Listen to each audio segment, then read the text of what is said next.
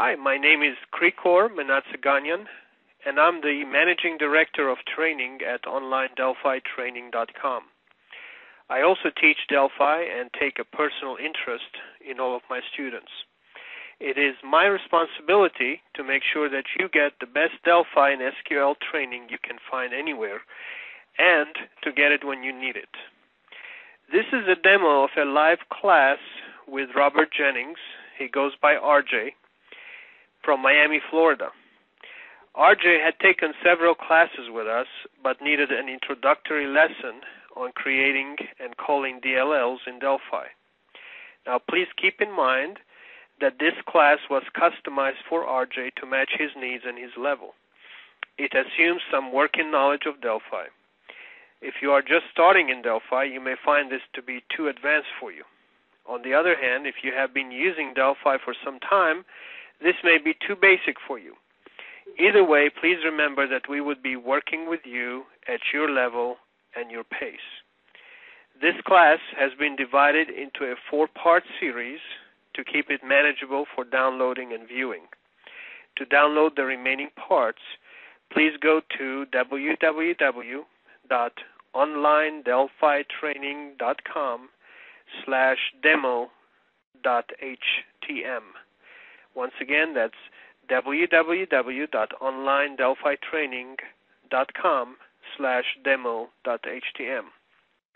If you have any questions about any part of the process or about our training, please visit us online at www.onlinedelphitraining.com or call us at 678 921 0644. You can also email us at info at onlinedelphitraining.com. Hello, RJ. It's great to have you in class again. Can you see my screen and hear me all right? Hello, Krikor. Yes, I can see your screen and hear you just fine.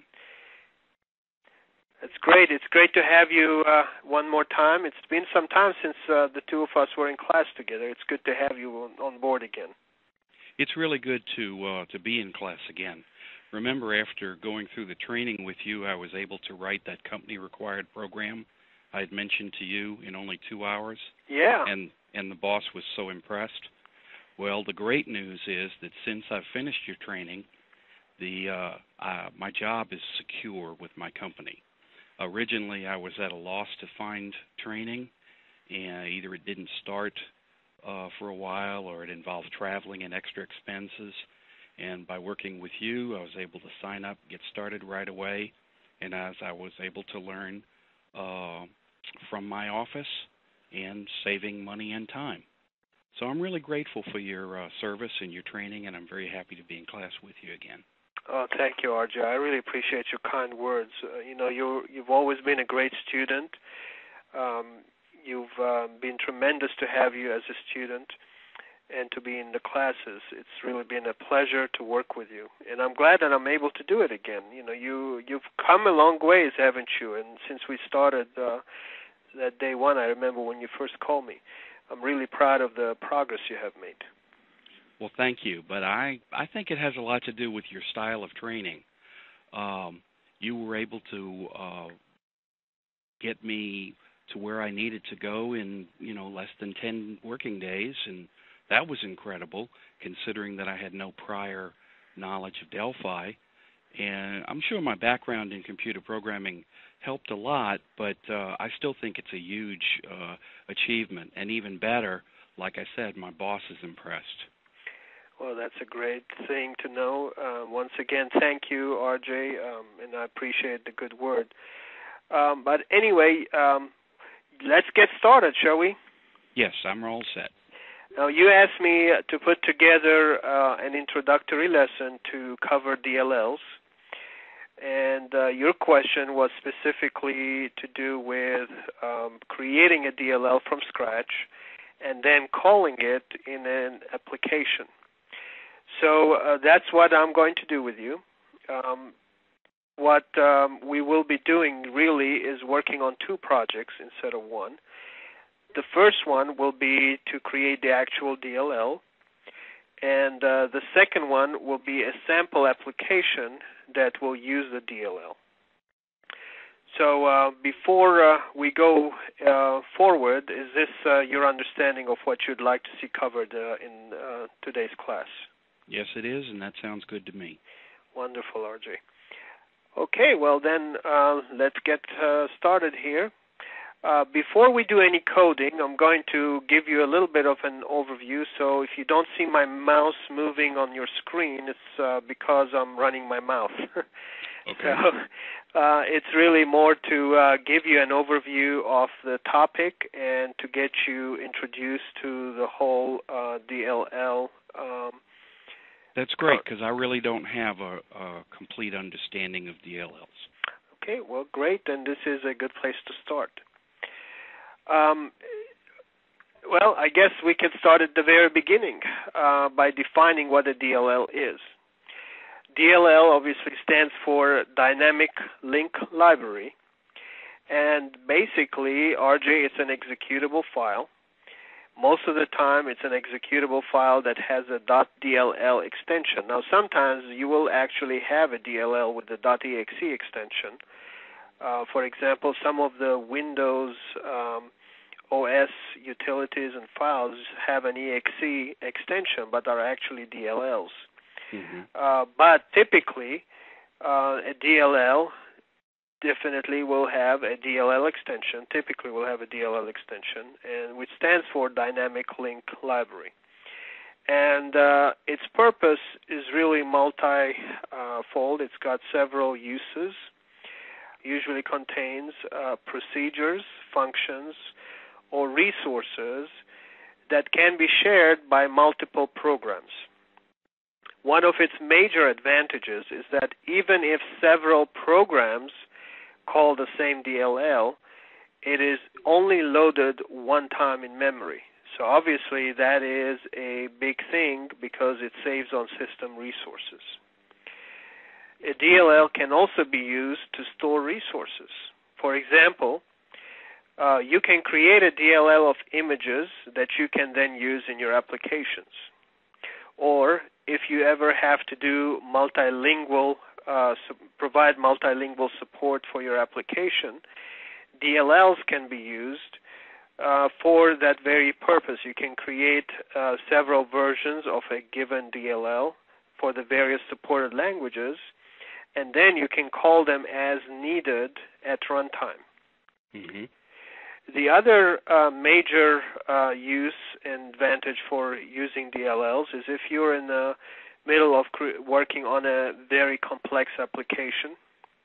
If you're in a complex application development and are constantly updating the application, for example, implementing the upgrades to users can be a real problem. I don't know if you've run into a situation like that, RJ. Um, I know I All have. All the time. Yeah. All where, the time I've been in live development before uh, in a company that is driven by development and sales, and the rapid de- application development has been was a major um, major uh, aspect of the whole uh, setup, and uh, the difficulty, or I shouldn't say the difficulty, the challenge had always been okay, how do you implement the changes that are requested, the upgrades are requested to users and still keep them happy and not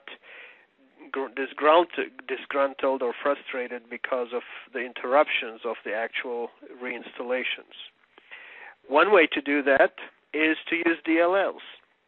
Instead of having to recompile and deploy the entire application with every new update you, you create, you can simply provide a new DLL to replace an older version and the replacement would be a lot less painful. The update implementation would be a lot less painful in that situation. Of course, if you are going to use uh, DLLs in this fashion, you must always include all the methods found in the old DLL, the original DLL, and include them in the new version. And you must not change any of the original parameters. Otherwise, you will run into problems with the. You mean uh, it's not smart enough to know the difference? I thought we had a language that did all of that. All right, anyway, I'm uh, just no, kidding. I'm yeah, just kidding. That's quite all right. Windows so, will put out that language in the next version. yeah, it will be able to read your mind. That's right.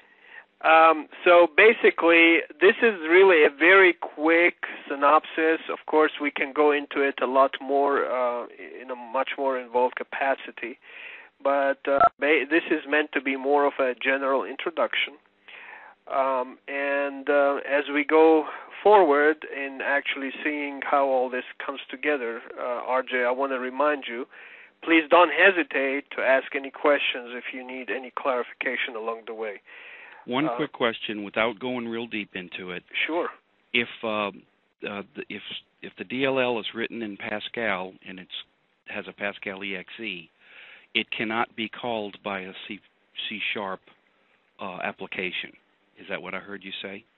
No, uh, that is actually inaccurate. A DLL can actually be called by multiple uh, languages as long as uh, you stick to the rules of creation. Okay.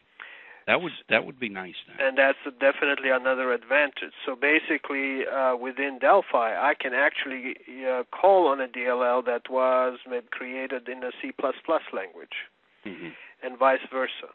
hmm Uh, the the rules of creation, of course, uh, must be uh, maintained so that uh, the languages used will know what to do with the DLL and how to call them. Okay. Great. Uh, any other questions before we move forward? No. Okay, great. So uh, in this example, RJ, what I will do is I will create a basic DLL that holds some conversion functions. Uh, since you indicated that was just uh, an example Right. you might be interested in, I decided to go with that. Right. And uh, basically, our DLL example will be exporting six conversion functions. Uh, we can do a lot more, but uh, the m- purpose here is that you get the idea and concept of how it all works. hmm So we will be creating six functions and exporting them in our DLL. hmm And then uh, the uh, second phase of this uh, application will be uh, example will be to create an application that calls on that DLL. Okay. Again, without going too deeply into it, overloading in the DLL um, description of the function works the same way as it does in a regular application. Um, yes, the Okay, the coding is the same. Uh, the, Right. the there are a few changes that you will have to uh, implement. Certain We don't need to go into that. I just Right. wanted to make sure that it did it. Okay. Yeah, absolutely. So, um, in the example we'll be using specifically, each of the functions will be accepting one parameter, and we will define it to be of type double, and we'll be outputting a result also of type double. hmm Um, so, um, if you're ready, we'll get started here, and uh, we'll get working on the DLL. Right. I've got my uh, uh, Delphi application open and ready. Okay. So uh, to do um, to to create a DLL project, it's a little bit uh, different, and you will see uh, in the process. Normally, what you would do is you would click on File, New, and you would choose VCL Forms application, which is what we have been doing, which is a Win32 application. Right. Now, in this case, what you want to do is instead of clicking on the application, you want to come down to Other, hmm and this will pull up the repository. And from here, we will use a wizard that's already there for us, and that's the DLL wizard.